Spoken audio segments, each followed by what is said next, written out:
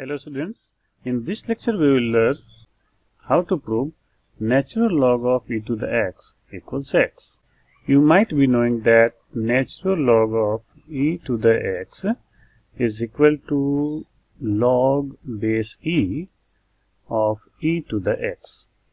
Let us assume that log base e of e to the x equals y.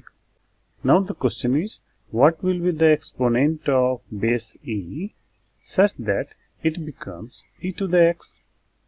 This is the prime question to solve this problem.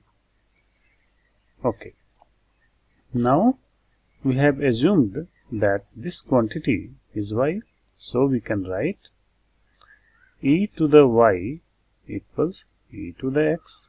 Please note that on both sides of this equation base is same which is of course a positive quantity.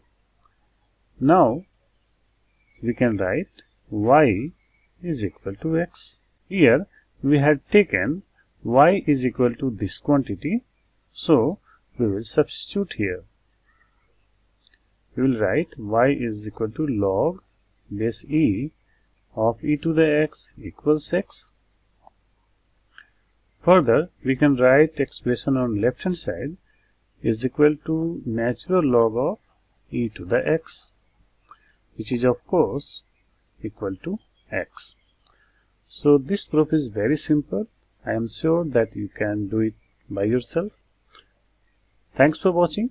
Till then, goodbye.